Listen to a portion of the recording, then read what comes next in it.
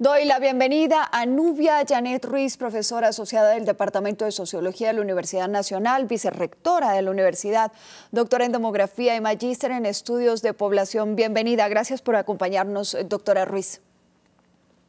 Muchísimas gracias por invitarme.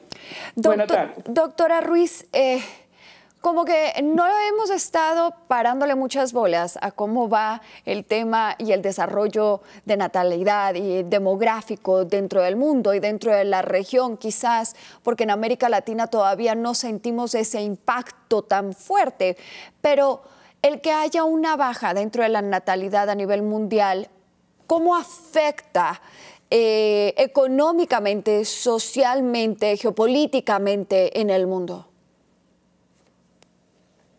A ver, es muy importante lo que usted está diciendo es de alta relevancia. Eh, la población siempre ha estado leída de manera eh, secundaria, por decirlo mejor. El crecimiento de la población ha sido un problema eh, relegado de manera particular, visto como algo que no tendría mucho peso en el proceso de la economía ni en el proceso del crecimiento mismo de las poblaciones en el mundo.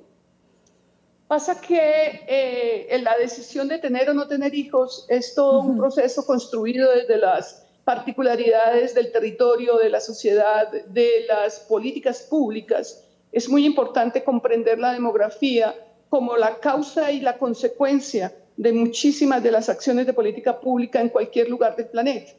Las implicaciones del crecimiento poblacional son muy importantes, pero también el decrecimiento de esas poblaciones siguen siendo muy importantes. Es, es necesario tener en cuenta que eh, las poblaciones nacen, hay que esperar 20, 30 años para que esas poblaciones sean económicamente activas.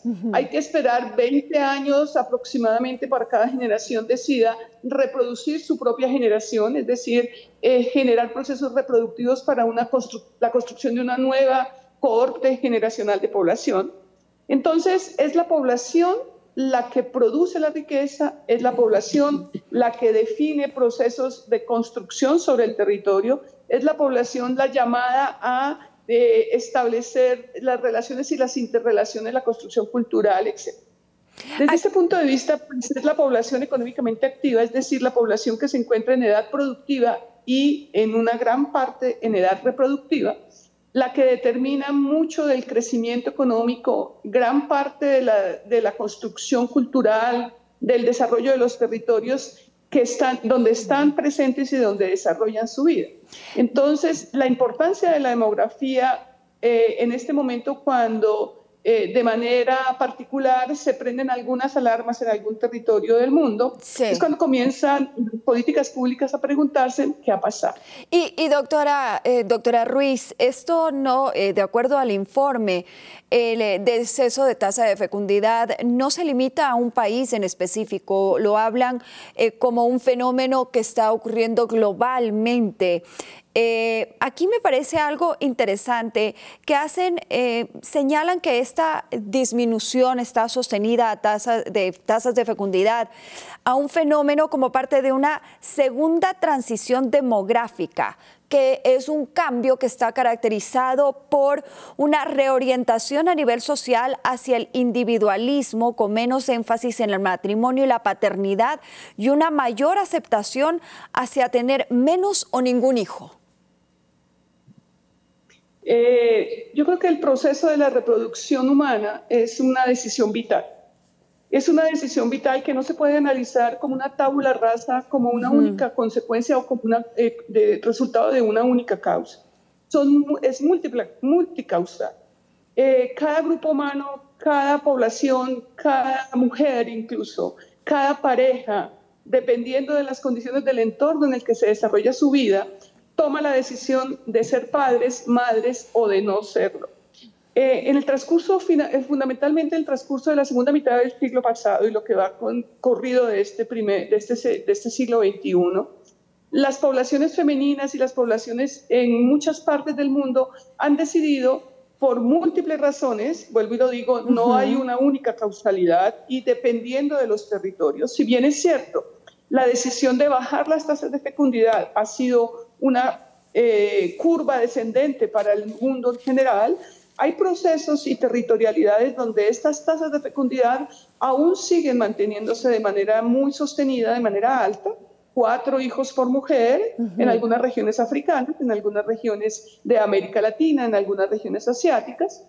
Y este, este comportamiento es, es, muy valioso tenerlo en cuenta. No, hay, no creo que sea viable ni válida una lectura un poco cataclísmica de la caída en la fecundidad. Yo creo que las poblaciones y las sociedades son muy sabias y los riesgos a los que se enfrenta la humanidad hoy en día son unos riesgos casi ciertos.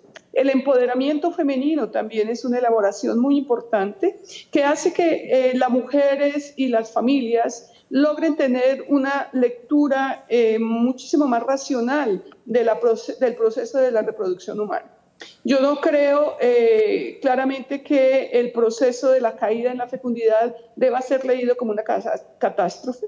Yo creo que es muy importante tener en cuenta la aceptación del otro y de los otros. Hay territorios donde están naciendo muchos niños, pero tristemente esos territorios son espacialidades olvidadas pero, en clave de la calidad de vida. Pero, doctora Ruiz, ahí tenemos eh, quizás un tema con lo que usted hacía eh, referencia. Hay poblaciones o hay regiones en donde las mujeres aún tienen tres, cuatro, cinco hijos. Y ahora hay un tema que se ha juntado, que es el tema migratorio doctora. Y muchas de esas mujeres que se encontraban en países de Medio Oriente o del África o, de Latinoamérica están ocupando nuevas regiones o nuevos lugares en, la dentro de la geopolítica, dentro del mundo.